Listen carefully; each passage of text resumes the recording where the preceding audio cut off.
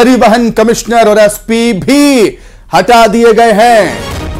साथ ही कलेक्टर भी हटा दिए गए हैं। तो ये बहुत बड़ी खबर इस वक्त आपको बता रहे हैं क्योंकि लगातार एक्शन हो रहा है लगातार कार्रवाई की जा रही है। एक तरफ़ सीएमओ नगर पालिका सीएमओ को सस्पेंड कर दिया गया आरटीओ को सस्पेंड कर दिया गया साथ ही साथ अब परिवहन कमिश्नर और एसपी को भी हटा दिया गया है कलेक्टर को भी हटा दिया गया तो एक बड़ी कार्रवाई यहाँ पर देखने को मिली है।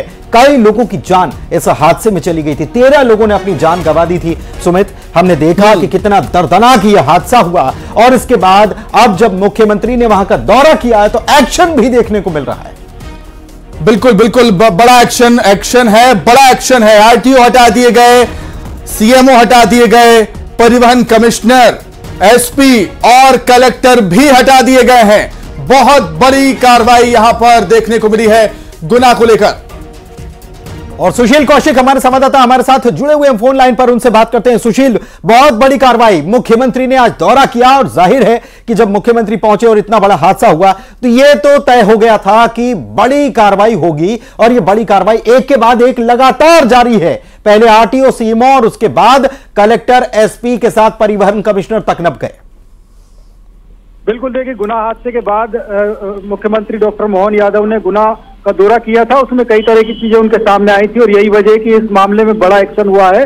और अब दो आईपीएस अधिकारियों के ऊपर जाँच गिरी आपको बता दें कि संजय कुमार झा, जो आईपीएस है, इनके पास परिवहन आयुक्त का चार्ज था, मध्य प्रदेश परिवहन विभाग के ये मुखिया थे।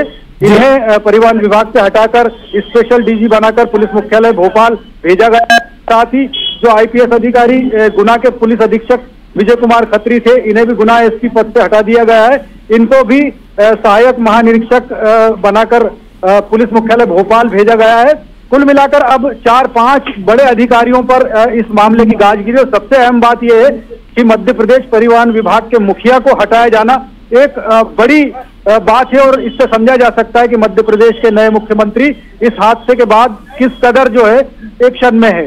और अब आने वाले समय में इस मामले की जाँच होगी। जाँच के बाद और कार्रवाइयाँ देखने के लिए मिलेगी।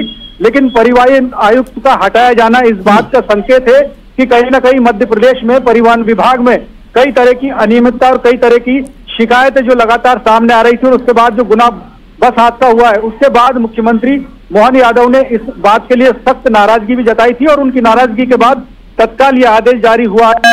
पहले ही और परिवहन आयुक्त संजय कुमार झा और गुना एएसपी विजय खत्री दोनों को हटाकर पीएच की भेज दिया गया है। तो अब आने वाले समय में इस मामले में जाँच के बाद और भी कार्रवाइयाँ देखने के लिए मिलेगी। बिल्कुल, गुना हादसे पर जो एक्शन हुआ है, कई बड़े अधिकारी हटा दिए गए। वो संकेत है कि ऐसी लापरवाही अब प्रदेश में बिल्कुल भी कतई बर्दाश्त नहीं होगी। जो भी दोषी होगा, हटा दिया जाएगा।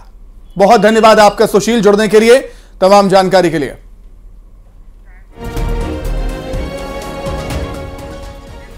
तो पाँच की